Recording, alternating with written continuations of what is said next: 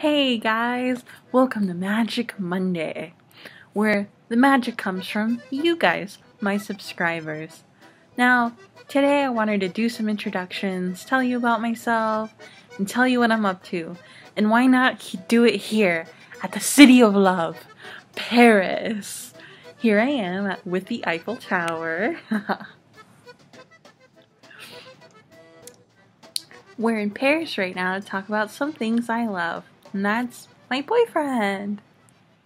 You so fucking precious when you smile.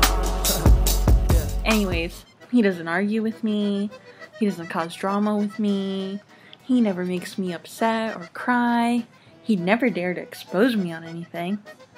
And well, I guess I'll do a quick quick ASL. I'm Tanya, I'm 21, and I'm from Maryland. And let me know what you guys want to see in the next few vlogs. See ya!